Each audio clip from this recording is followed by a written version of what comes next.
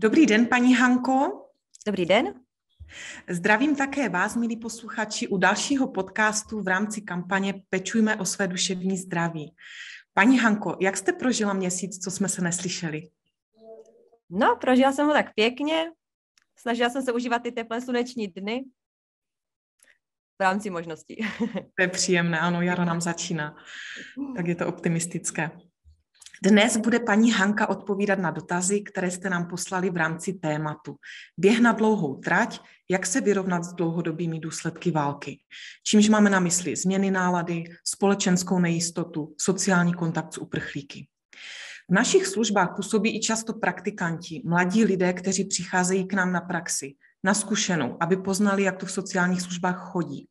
Od jedné takové mladé studentky Aničky jsme získali zpětnou vazbu na náš minulý podcast. Studentku zaujalo téma děti, její myšlenkou bylo, že v dnešní době rodiče se svými dětmi nekomunikují a neví, jak jim pomoct v takové situaci a mnohdy ani rodiče nepoznají nebo neví, že si dítě prochází těžkou situací. Apeluje na to, Anička, že hlavně děti potřebují mít nějakou oporu a jistotu a k tomu potřebují komunikaci s rodiči. Co si o to myslíte, paní Hanko? Mluví dnes rodiče se svými dětmi? Věnují se jim dostatečně? Já bych řekla, že je to velice individuální. Určitě to záleží rodina od rodiny. V některých uh, rodinách je prostě taková komunikace běžná, v některých rodinách to spíše vázne. Nelze to určitě paušalizovat. A odraží se v tom hrozně i nějaká historie rodiny, tak jak eh, to prostě znali rodiče ze svých rodin, jak mezi sebou komunikovali, jestli to bylo moc nebo málo. A druhá věc je, že nemusí to být jako komunikace takové to mluvené slovo. Velkou roli hraje právě i nějaká jako neverbální komunikace, nějaké tělesné kontakty, tělesné dotyky, které se v tom taky hrozně odrážejí. Mm-hmm. Je, to, je to velice individuální. Mm-hmm. Ale musím říct, že setkávám se i s rodinami, které třeba tu komunikaci nemají tak zažitou. A setkávám se i s rodinami, kde je komunikace velice otevřená, taková podpůrná, kontaktní. Mm-hmm. Ano, ano, souhlasím, je to různé. Dobře, pojďme už na otázky a podněty našich posluchačů. Začala bych první otázkou. Dlouhodobý stres může způsobovat i fyzické zdravotní potíže. O co se může jednat a jak poznám, že se jedná o důsledek chronického stresu? Mám navštívit lékaře? Je určitě pravda, že dlouhodobý stres může způsobovat zdravotní problémy, a to v různých oblastech a v různé závažnosti. Mezi takové nejčastější a nejspecifičtější uh, problémy patří třeba bolesti břicha nebo zažívací problémy, bolesti v krku, bolesti zad a hlavy, ale jsou to i jiné, třeba potíže s vysokým tlakem, nebo mohou být sexuální či menstruační poruchy, může se dozvinout cukrovka, v některých případech třeba i rakovina. Co se týče těch případů bolesti určité části těla nebo třeba trávicích problémů, tak uh, tady je takové nepraktické to, že se jedná o příznaky, které mohou vypovídat o celé řadě jiných problémů nebo nemocí. Třeba bolí mě břicho, protože řádí příšní chřipka, nebo mám na nějakou, nějakou alergii a podobně. Takže často se pak stává, že daná osoba spíš registruje právě ty zdravotní obtíže a nespojí si je třeba s nějakým dlouhodobě prožívaným stresem.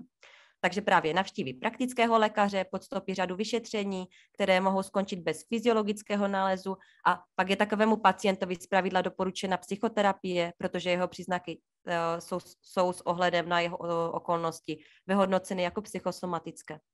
Ale jsou i v opačném případě, zase u sebe můžeme pocitovat zdravotní problémy a přitom už tam může být nějaké podezření, že je to vliv stresové situace. Je to právě, když nějakou obtíž pocitujeme dlouhodobě a výrazně právě při stresové zátěži nebo i krátce po jejím ukončení. A pokud si to jedinec dokáže takhle uvědomit, uh, že teda je to nějak provázané, pak je to dobrý výchozí bod, protože vlastně ví, že, to, že musí něco nějak změnit, aby se buď snížila ta stresová zátěž a zmírnily se zdravotní problémy. A pokud na to nestačí sám, tak je uh, vhodné vyhledat teda odbornou pomoc. Já osobně jsem uh, i za to podrobit se lékařským vyšetřením, nepodceňovat možnou fyziologickou příčinu nějakého problému a nebo právě závažné fyzické dopady, případně získat i vhodnou medicínskou podporu. To kontaktování lékaře už je nějaká cesta ke změně a dotyčný by měl být připravený, že eh, to možná nevyřeší ta klasická medicína nebo nějaké léky, což někdy prostě může být ta jednodušší cesta, ale že třeba bude potřeba něco aktivně řešit, buď formou psychoterapie nebo nějakých změn v osobním životě. Mhm, děkujeme za rady. Existuje nějaká osvědčená skupina na sociálních sítích, kde je možné najít rady pro podporu duševního zdraví? No, to je pro mě taková těžká otázka. Asi záleží, co je tím konkrétně myšleno. Jestli přímo nějaká své pomocná skupina lidí na Facebooku, nebo třeba kanál nějaké organizace či projektu.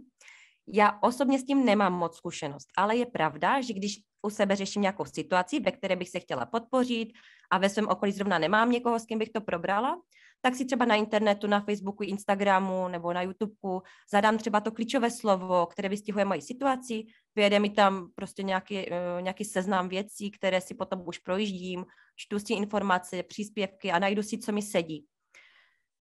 Hodně si u toho hlídám, jestli mi to je srozumitelné, jestli ty příspěvky nejsou úplně mimo selský rozum, nebo jestli to není třeba i mimo, mimo moje pojetí věcí, jestli tam zaznívají informace, které potřebují a podle toho načerpávám. Tohle často doporučuji i svým klientům, Uh, aby se nebali si něco pohledat, co by je podpořilo, ale taky, aby neskočili na první dobrou a opravdu si prověřili, co, co čtou nebo co, co načerpávají, třeba i podle dostupných recenzí. Přímo k tomu duševnímu zdraví mě napadají asi dvě hlavní organizace. Jednak je to organizace Nevypust duši, ti mají internetové stránky, jsou na Facebooku i Instagramu a tam právě bývají často nějaká doporučení, ale i případně možnost zúčastnit se nějakých webinářů, myslím si, že i školení teda. A v České republice teda určitě Národní ústav duševního zdraví, kdy na Facebooku zveřejňují taky zajímavé odkazy. Ještě mě napadá, že teda je strašně moc fajn najít si nějakou sociální skupinu nebo na sociálních sítích někoho odebírat. Něco, co mi přímo jako sedne, co je pro mě pozbuzení, je to taková vlastně své pomoc. Ale právě to, jo, každému z nás sedí něco jiného a ještě navíc, každému z nás sedí něco jiného v daném životním období nebo situaci. Takže je to velice individuální a je, dobrý, je to dobrý krok nějaké sebe podpoře. Najít si něco sám pro sebe, dát si tu práci a najít si něco, co mi opravdu sedí, je to velice přínosné už v samotné podstatě.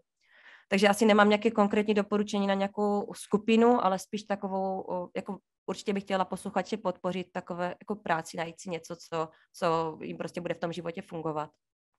Mm-hmm, děkujeme. Uh, další otázka se týká rozdělení našeho národa na dvě strany. Co byste prosím poradila při každodenním kontaktu s lidmi opačného názoru na aktuální situaci? Zřejmě jaksi negativní, negativní pohled na to, mhm. co se děje. Ono v něčím je to vlastně stejné jako každá jiná situace, kdy se potkají dva, co mají jiný názor na věc.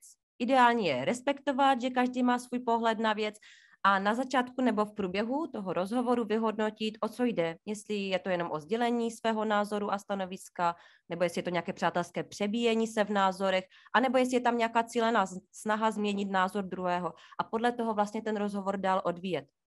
A samozřejmě člověk to musí uspůsobit za svou stranu, protože každý do takového rozhovoru vchází s jinou motivací. Ono to zní tak hodně teoreticky a v praxi je těžké to tak přirozeně vyhodnocovat, ale uh, pokud někomu dělá problém takhle v takové komunikaci byt, tak by se to tam mohlo jakoby objevit. Ale zároveň jsou v něčem takové situace, kdy se potkám s lidmi opačného názoru na aktuální situaci hodně jiné. A jiné jsou v tom, že jde právě o válku. Válka ve své podstatě je, je neobhajitelná. Jsou to útoky na lidská práva pro, proti lidské společnosti. Je to hodně existen, existenční téma. Takže když se setkáme s opačnými názory nebo třeba i vyhraněnými názory druhých, tak může se nám to zdát nebezpečné, může se nám to zdát dráždivé, hrozně rychle to jítří emoce a sami sebe vlastně dostáváme do takového buď obranného nebo útočného režimu, už jenom když vlastně si o tom povídáme takových situacích je velice důležité reflektovat, co to se mnou dělá. Jestli mě to třeba dráždí a mám mít potřebu do nějaké obrany nebo třeba i do útoku. Jestli mě to třeba překvapuje, jakoby až paralizuje, nebo cokoliv jiného, těch reakcí může být celá řada, že jo.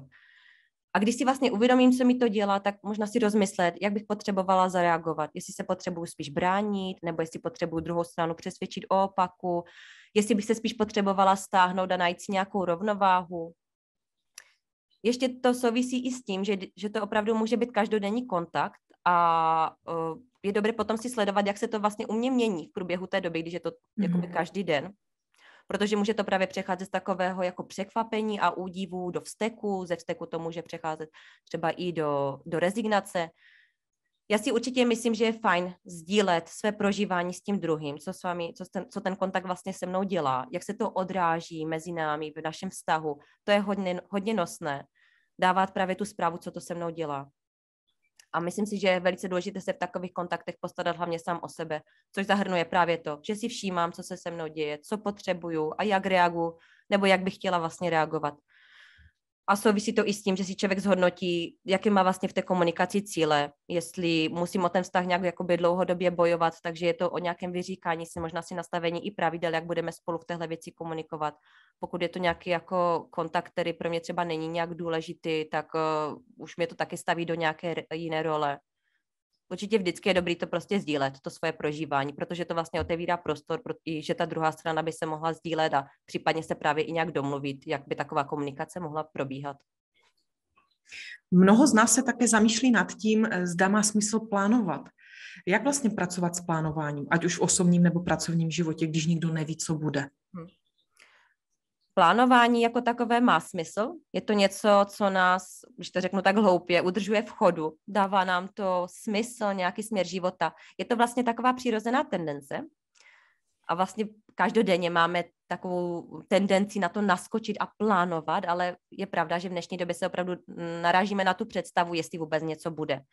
A to v této chvíli prostě nikdo neví, jak se bude dál situace odvíjet, ale kdybychom to plánování zabalili, tak zůstaneme stát na místě, ztrácíme děj a sekundárně to má pak vliv na naše prožívání smyslu života, ale i na prožívání psychické pohody. To, že mám nějaký plán, mi dává vlastně určitý rámec a jistotu, že něco bude, že to bude nějak vypadat, že to není jen nějaká neznámá budoucnost, která eh, je nějak nejistá a která by mi vlastně dělala i psychicky špatně. Ale v této době je to samozřejmě výrazně ovlivněno na druhou stranu pořád to jde, pořád to jde plánovat. Měli, měli bychom se nechat vést tou přirozenou tendencí něco prostě si naplánovat v tom životě a brát potaz jakoby tu situaci, nedělat, jako by se nic nedělo. Mm, je tady prostě nějaké riziko, že některé plány nám nevídou, že se bude muset něco prostě změnit, ale strašně bych chtěla všechny pozbudit, abychom se tím nenechávali odradit a byli prostě takový flexibilní a alternativní v tom, jak se budou odvíjet naše příští dny je dobrý si i sledovat při tom plánování nebo případně nějakému uspůsobování plánování, sledovat, co mi to vlastně zpětně dělá. Jestli když já si nuceně vytvořím nějaký plán a děsí mě tam ta představa, jak se to bude ve budoucnu odvíjet, tak opravdu zvolit nějakou cestu, která pro mě bude třeba přijatelnější, která bude k něčemu směřovat, k nějakému, třeba kdybych si plánovala dovolenou, tak nemusím si hnedka zarezervovat, kde to bude, ale prostě počítat s tím, že tam nějaká ta dovolená v létě bude, udělat si prostě tam uh, tu pauzu i v té, i v té, práci, i v té práci nehrotit to, ale zároveň prostě tam mít právě nějakou tu alternativu. Ono s tou dovolenou je to takový banální příklad, to plánování má fakt různou váhu, jak jste říkala, je to prostě rodinný pracovní život. Může se to odvíjet i právě od nějakého třeba návratu do původní země, což hodně cizinců teďka určitě prožívá, jak právě jejich život bude vypadat. Ale ta podstata, nehledě na situaci, zůstává stejná. Nerezignovat na to, co ve svém životě můžu plánovat, nebo co můžu nějak očekávat, předpokládat, potenciálně se snad i na to těšit, protože je to vlastně něco, co nám dodává i takovou energii, dobrou náladu a snažit se to cíleně udržovat. Možná to teďka fakt nejde tak přirozeně, takže je tam dobrý dosadit i takovou aktivní snahu, něco si prostě připravit a na něco se těšit. Mm, souhlasím s vámi, že to určitě má smysl. Jak komunikovat s lidmi, konkrétně Čechy, kteří opakovaně nadávají na uprchlíky z Ukrajiny? A to tím stylem, že berou nám práci, darované jídlo a oblečení se jim nehodí. Hmm. Mě to hodně vrací vlastně k té uh, předchozí otázce, jak tam bylo ten každodenní kontakt s lidmi, kteří mají opačný hmm. názor. Je to tak, že každý máme prostě právo na názor a bohužel i takové jako těžké vyrovnávání se s těmi cizinci, z jejich přítomnosti v, uh, v naší společnosti je nějakou součástí téhle fáze vyrovnávání se s válkou a vlastně uvědomování si těch válečných dopadů. Přirozeně se s tím pojí i obava, co bude s námi samotnými, když jsou mezi námi teďka uprchlíci. A z té obavy může vyrůstat vztek, který je cílený třeba právě na Ukrajince, na vedení naší země, na sousedy, kteří aktivně pomáhají a tak dále. Já to vlastně taky znám ze své osobní zkušenosti, taky se setkávám s takovými lidmi a mě to vlastně vždycky trošku zaskočí. Jednak mě zaskočí to, že vyjadřují tu svou nespokojenost, já to třeba takhle úplně nevnímám, ale taky to, že si uvědomuju, že jejich obavy a nespokojenost je oprávněná, že některé chování cizinců opravdu může být dráždivé, že některé pracovní pozice jsou obsazovány cizinci a tak dále. Na tu otázku, jak komunikovat, tak zase ta komunikace s takovými lidmi se hodně řídí tím, co je mým cílem. Je to teda trošku podobné jak v té předchozí otázce. Uh, jestli je mým cílem hlavně změnit názor druhého, tak se pouštím do debaty, budu se snažit přesvědčit. Jestli je mým cílem to hlavně nějak ustat, tak si spíš uvědomuju, proč já tu situaci tak vnímám, že je v pořádku, že to máme každý nějak jakoby jinak. Mhm. Případně můžu dát i jednoduše najevo, jak to mám, nebo když mi to vůbec nedělá dobře, tak je fajn prostě se z té situace vzdálit, najít si svůj klid, nějak se prostě najít si svoji rovnováhu. Těch variant je nespočet, ale vychází to vlastně z nějakého poznání, co já osobně v té situaci potřebuji a co od ní očekávám. Já osobně nemám úplně ráda nějaké názorové přestřelky, respektuju názor druhého, nebo snažím se o to, každý máme právo na názor, ale je pravda, že v téhle válečné situaci si všímám, že jsem schopna víc sdělit svůj názor a nějak propagovat empatii z uprchlíky. Že je přesně těžké si představit, odejít z domova, všechno tam nechat, ztratit blízké. Myslím si, že je hrozně těžké se do toho jenom vcítit a představit si, co oni prožívají a jak se to může vlastně odrážet v jejich reakcích. A moc fandím tomuhle. Pamatovat v těch každodenních situacích na to, že je potřeba mít pochopení a právě i tu empatii. Možná nenechat se strhnout lavinou nespokojenosti a paniky. Na druhou stranu je fajn sdělit své obavy, postěžovat si, nějak to ze sebe ventilovat, ale nemělo by to přejít bez zbrojení proti obětem války, ať už se nám jejich chování třeba zdá nedostatečné, nevhodné, pokud teda nejde přímo o nějakou hrubost. Myslím si, že opravdu hodně pomáhá uvědomovat si, že to není běžná situace, že je to stále nějaký ještě proces, který si bude sedat a bude se to nějak vyvíjet a bude se to i nějak určitě přizpůsobovat, že je to velice výjimečné. Tak uh, být prostě sám u sebe, sledovat si, co to se mnou dělá, nenechat se prostě strhnout nějakou, jak jsem říkala, nějakou lavinou paniky nebo nějaké nespokojenosti. Mm-hmm, děkujeme. Naše posluchače také zajímá, zda bude práce například pro absolventy, ale také pro pracovníky v sociálních službách. Zda budou finanční prostředky na dotace, nebo je lepší hledat práci v jiném oboru, pak je ale otázkou, ve kterém. No, eh, to bych taky ráda věděla. Já si vlastně nedovedu představit, jak až velké ty dopady budou.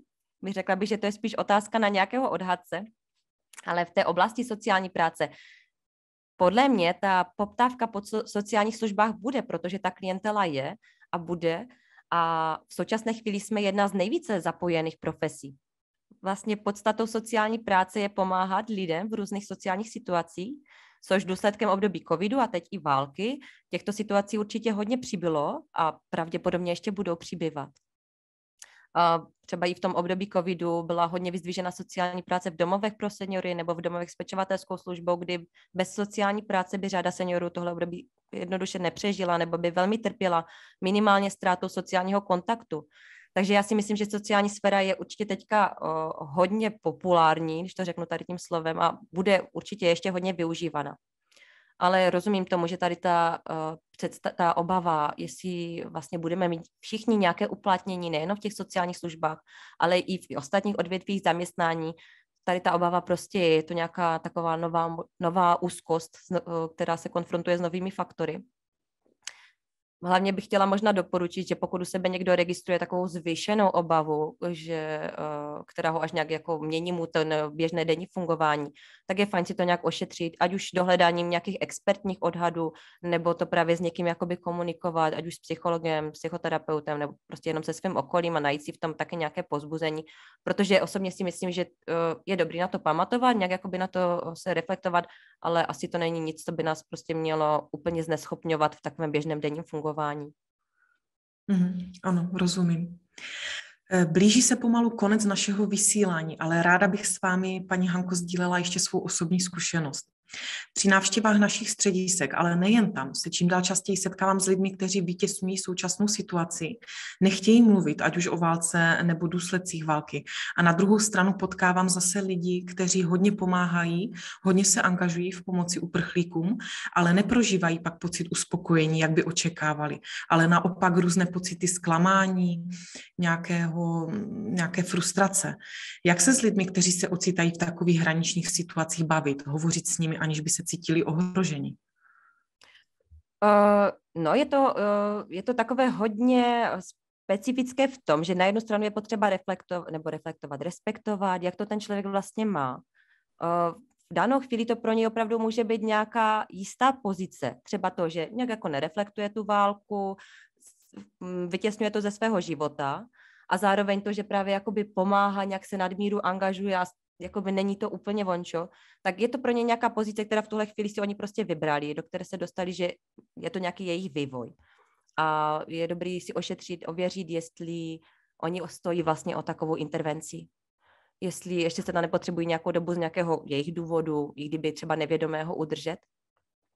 Ale je dobrý poskytnout tu zpětnou vazbu. Jakoby vidím, že to ze sebou třeba děláte takhle, nebo že pomáháte a vlastně na to není, ne, nemáte ten prožitek uspokojení, takže někde tam bude prostě něco váznout. Jenom stačí na to prostě poukázat, třeba vyjádřit i zájem o to, že uh, jsme připraveni třeba s nimi o tom popovídat, kdyby měli zájem, nebo je nějak vyslechli, případně jim nasměrovali na nějakou odbornou pomoc. Není dobrý dělat nic jakoby na sílu, každý si prostě je strůjcem svého života a, ale myslím si, že takové to zvědomování, že jako ta válka tady je, ať už jakoby v tom případě, kdy nic neregistrujeme, nebo naopak jakoby ta pomoc, řekněme, je nějaká prostě přes, přes čáru, nebo nemá ten svůj dopad, který by mohla mít, tak je dobrý to prostě zvědomovat, dávat to jako nějak v potaz v té komunikaci. Mm-hmm. Moc děkuji, moc děkuji za, váš, eh, za vaši radu. Paní Hanko, moc vám děkuji za váš čas, který jste nám věnovala a za všechny zodpovězené dotazy. Chci vám, milí posluchači, poděkovat za všechny zpětné vazby, kladné komentáře k naší kampani. Pište nám dál. Těším se na květnové téma, které zní, jak pečovat o vztahy, na kterých nám záleží, co ano a co ne. Paní Hanko, milí posluchači, přeji vám, ať se vám daří, ať máte krásné jarní dny a budu se těšit zase u dalšího dílu. Také se Naschledanou. Naschledanou.